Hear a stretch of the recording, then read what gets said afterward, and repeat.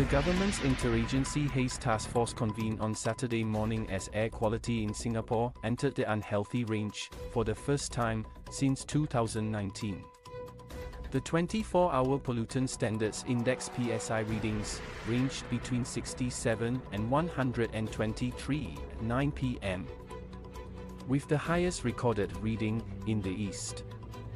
A PSI reading of 101 to 200 is in the unhealthy range, for which the National Environment Agency NEA advises the public to cut down on outdoor activities.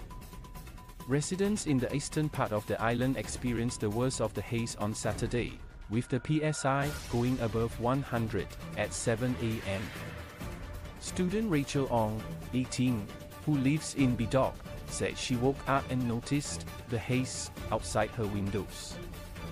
She said, the haze at 9 a.m. was so thick, I could not even see the neighboring blocks. Marine Parade resident Haria Ismail, 70, said, it has been a bit hazy these past few days. Especially when I look at the central business district area from the window of my flat on the 25th floor. The broker is asthmatic and has been feeling unwell this past week.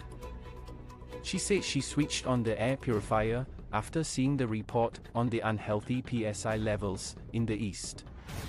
Giving an update on the haze situation on Saturday, Minister for Sustainability and the Environment Grace Fu urged Singaporeans to start monitoring the advisories the NEA will be issuing on its website www.nea.gov.sg or on the MyENV mobile app. She was speaking at Yuhua Food Rescue, a monthly event in Jurong East to distribute food to reduce wastage.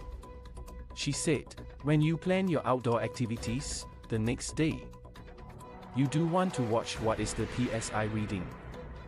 If it is in the unhealthy range, you may want to minimize any strenuous outdoor activities in a prolonged manner.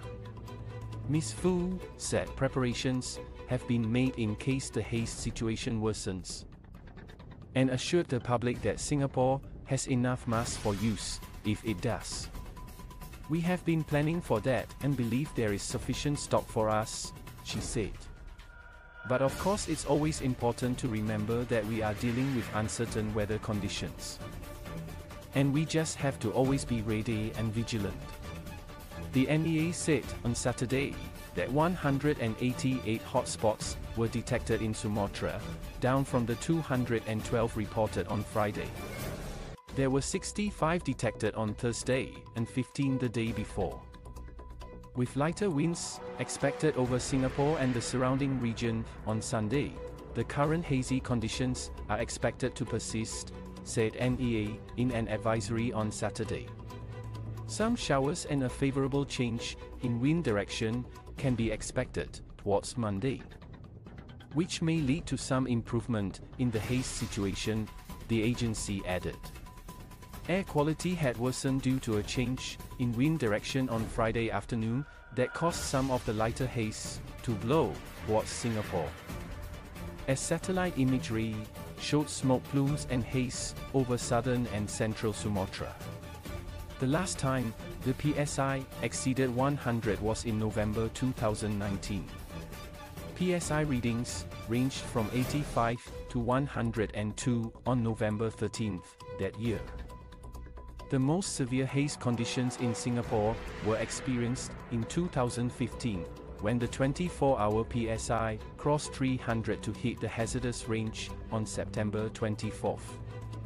The Ministry of Education closed all primary and secondary schools the next day.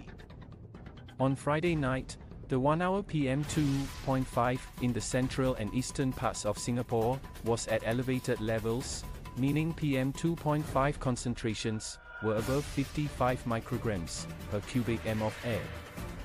PM2.5 refers to fine particles, usually airborne, that are 2.5 microns or smaller and can be lodged deep in the lungs, posing severe health risks. The PSI is computed based on a 24-hour average of concentration levels of PM2. 5, among other pollutants. With the air quality worsening, some people in Singapore have had to adjust their plans for the day.